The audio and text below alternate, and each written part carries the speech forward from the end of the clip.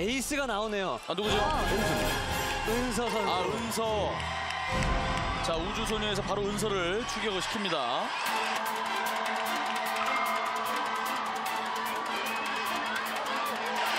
자 위켄드 유정. 유정. 그렇지. 그렇지.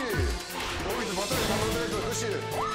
다른 사람들도 신혼들이 굉장히 강한 사람이었어. 그는 그래? 네가 나보다 특보이지. 난 너보다 세. 항상 자신감이. 알았지? 그 자신감 가져줘. 아 유정 선수는 개인적으로 아 굉장히 좀 힘들지 않을까. 네. 자 은서는 지금 씨름 우승 후보 중에 한 명이거든요. 씨름 우승 후보 중에 한 명이거든요. 자 거의 2019년 아육대 씨름 최단 시간 승부가 아닌가 하는 생각이 듭니다.